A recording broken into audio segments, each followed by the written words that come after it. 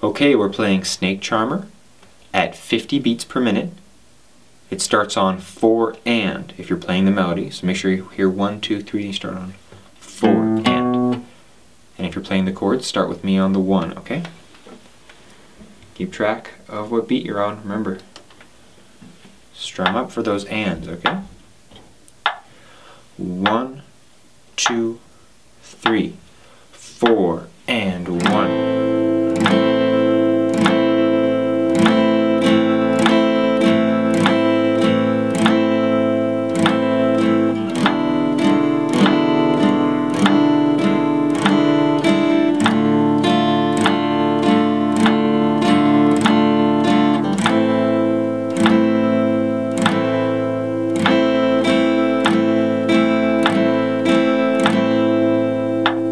Song's over.